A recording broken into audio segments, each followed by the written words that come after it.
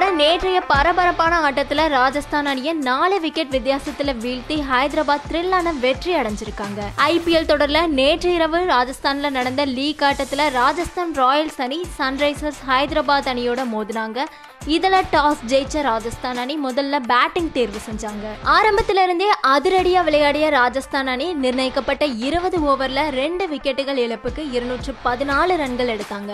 அந்த அணில அதிகபட்சமா Jos Buttler தொண்ணூற்றி ஐந்து ரன்களும் சஞ்சு சாம்சன் அறுபத்தி ஆறு ரன்கள் மற்றும் ஜெய்ஸ்வால் முப்பத்தி ஐந்து ரன்களும் விளாசினாங்க. அவங்கள தொடர்ந்து விளையாடிய ஹைதராபாத் அணி ஆரம்பத்திலிருந்தே சிறப்பான ஆட்டத்தை வெளிப்படுத்தினாலும் அவ்வப்போது விக்கெட்டுகளை இழந்து வந்தாங்க.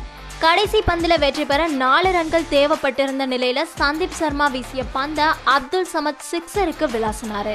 இது மூலமா ராஜஸ்தான் அணியை நாலு விக்கெட் வித்தியாசத்துல ஹைதராபாத் அணி த்ரில்லான வெற்றி பெற்றாங்க.